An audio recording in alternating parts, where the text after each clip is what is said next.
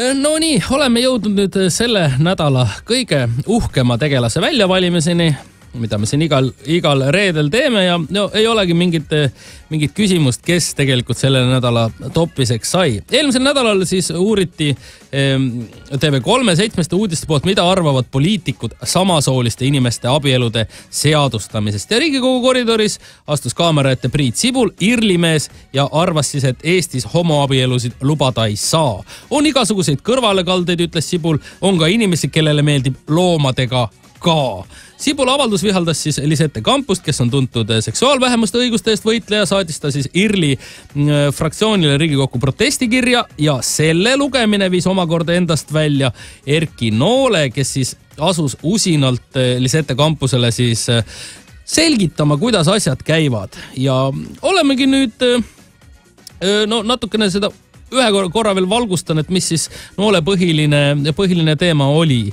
nagu paljud heteroseksuaalid kontrollivad oma ihasid, et mitte laskuda abielueelsetesse või väljaspool abielu olevatesse seksuaalsuhetesse, nii hoidku ka homoseksuaalsete ihadega isikud end vaos, et hoiduda homoseksuaalsetest kontaktidest. igaüks, kes tahab hoiduda homoseksuaalsest käitumisest, peaks vältima praktiseerivate homoseksuaalide seltskonda ning oleks mõistlik ennast ka siis psühhoterapeut teraapia või ka religiooni abil siis sellest harjumustest vabastada. ja noh, sealt edasi läks juba asi inetuks. oleme nüüd Erkile helistanud, et natukene siin tausta avada. tere hommikust, Erki Nool, räägiksime nüüd natukene homoseksuaalidest.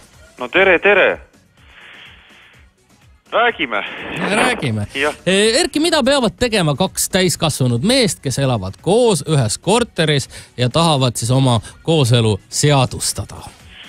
Vaata, ma ütlen sulle, kallis mees, kohe alguses ära, et kaks meest elavad ühes korteris koos ainult siis, kui nad on öö, õpivad Tartu Ülikoolis tead-, teadmisi ja on siis ühikaruumis või teine variant on see, et nad on koos spordilaagris ja ühes toas. teistes, teistes variantides ma ei näe mingisugust, ma ei näe mingisugust üldse, mingisugust põhjust, miks kaks meest peaks koos üldse üldse ühes toas olema Oleta, elamisest rääkimata. oletame, et kaks mm, omasooiharat kümnevõistlejat on koos spordilaagris ja tahavad ühes toas elada ja pärast seda oma kooselu seadustada. kas selline võimalus tuleb ette? vaata, ma räägin sulle sellise asja, et olen olnud omal ajal palju spordilaagris ja olen olnud noorte meestega ühes toas, ühes duši all ka. Ja ausalt öeldes meil on need asjad kohe paika.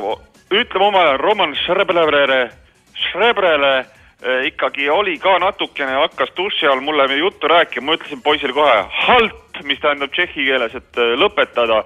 Ja, ja tõrjusin ta oma võimsa lõvitapja odaga, mida me kümnevõistlejad eh, ka e Enda väikese odaga siis, jah? Jah, tõrjusin ta teiselt nurka ja sellega oli kogu see pull lõppenud.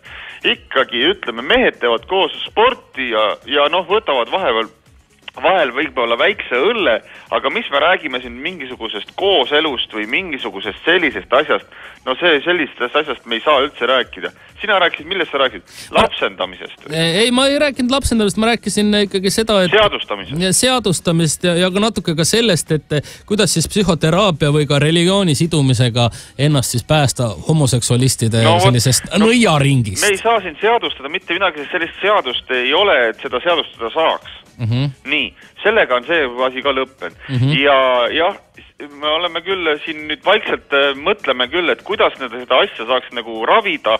ilmselt äh, ikkagi Eesti riik hetkel äh, meie tervishoiusüsteem on sellises olukorras, et me kahjuks ei puuduvad ressursid seda meditsiinilise vahele sekkumisega, aga meil on olemas nii-öelda vaimne ressurss, mida me siis saame kasutada ja, ja, ja ütleme, see täieneb siis pidevalt äh, Jumala poole pöördumisega ja läbi selle religiooni, nagu sa juba mainisid, Jumala poole pöördumisega saame siis nii-öelda kasutada sellist äh, füsioloogilist äh,, ütleme siis gei eksortsismi mm. -hmm. ja me oleme praegu loomas siin Riigikogu teatud liikmete ja ka fraktsioonist paar inimest on kaasa löömas vastavat sellist siis ütleme siis nagu Inglismaal öeldakse äh, pray, pray a gay away Äh, siis sellist väikest ringkonda, kus mm -hmm. me, me võtame endale nii-öelda siis pastori paberid äh,, asi on väiksest kristliku nurga alt, läheneme ja hakkame siis nii-öelda jumala sõnaga siis ravima äh, homoseksualiste,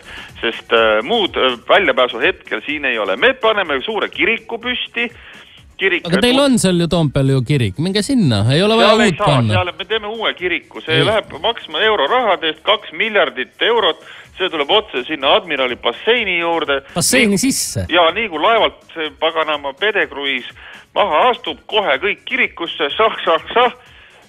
vette ja valmis. vett näkku, vitsa ja sõnad peale ja mine ja naudi seda hetero Tallinna vanalinna Erki Nool, kuidas selgitada olukorda, mida siin mm, Lisette Campus on välja toonud, et on kodus äh, samasooline paar, kellel on ka laps, kustkohast nemad selle lapse siis niimoodi no võt, saanud on? no vot, see ongi utoopia. ega ei saa ju samasoolised ei saagi last, kust nad järelikult varastasid, ega nad ei saa ju loomulikul teel. järelikult on nad selle lapse laenanud ja varastatud, mingu viigu tagasi see laps ärgu eputagu naabri lapsega siin, on ju mm. -hmm. ma saan aru, et nad tahavad ka käia lastefilme vaatamas kinos. lasteaias järel lastel riidesse panna. tahavad siuke, aga noh, ei no okei okay,, no selles mõttes, et sa võid naabritega kokku leppida, et sa käid laps, eh, naabri lapsel järel, on ju, aga sa ei saa ikkagi noh, see on see, mis see, see kampus ajab, see on ikka täiesti jama, on ju.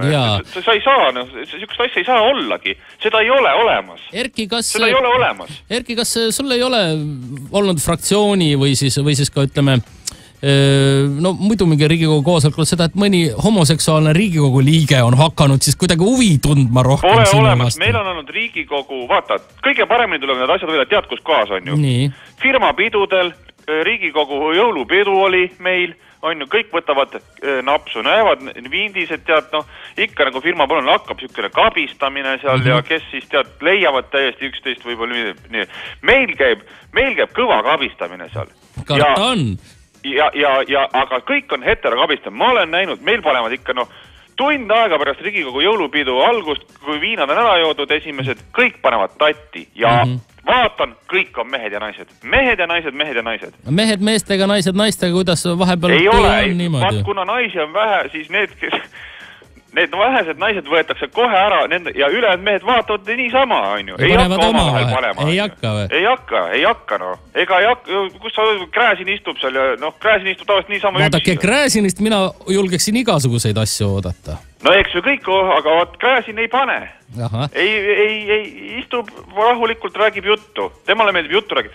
Ja ei ole mingisugust, mingit oma värki ei ole seal noh, puudub. Ma... probleemi ei ole, sest probleemi pu puudub. ma Erki loen äh, tänasest või no eilsest, vabandust, Ekspressi Lisette kampuse kirjast ka seda välja, et äh, teie trennis on käinud homoseksuaalne noormees, keda te olete ise treeninud ja võib-olla ka masseerinud mis te selle Ongi peale nii, jätsin no, vahele. jaa, täpselt nii kirjutatakse. Kas te olite ise samal ajal trennis, küsiksin siin Lisette kampuse no muidugi sõnadega. ma olin trennis, kui mul laps käis või see inimene käis mul trennis, siis ma tegin, kui ma teda masseerisin, siis ma olin muidugi ise ka trennis, no mis küsimus see on? no vot, vot tüüpiline homo küsimus mm. -hmm. täiesti, niisugune homode pull ei meeldi üldse muidugi ma olin trennis, kui ma teda masseerisin trennis, noh, mis, mis, mis, mis, küsimus see selline on, aga ma ei usu, et mul käis mingisugune homo seal kuskil. no äh... nii on käinud, Erki, te olete ise no,, ise öelnud, et tuleks praktis-, praktiseerivate homoseksuaalide seltskonda vältida. mina ei ole aru saanud, et mina homo on, mina, homod on ikkagi need, et kui ikka see, kui, kui ta, ma hakkan seda homo masseerima, siis kohe ründab mind seksuaalselt, vägistab ära ja sööb ilmselt mul käe ka ära, on ju. kas seda ei ole veel juhtunud? aga ei ole, järelikult pole ka homosid olnud mul trennis, mul on täiesti normaalsed inimesed kõik kõik pealtvaatajad, kõik näha on, kõik on normaalsed inimesed, pole mingeid homosid seal, homod on ikkagi, neil on seal jalge vahel sihuke, sihuke suur asi nagu üks jalg, kolm suurt tassi ärge, ärge ründavad, ärge nad ründavad inimesi, nad on ohtlikud, aga mul on kõik normaalsed inimesed trennis. see on väga hea mm. -hmm. aitäh, et saite aega meiega natukene sellel tõesti olulisel teemal rääkida. palun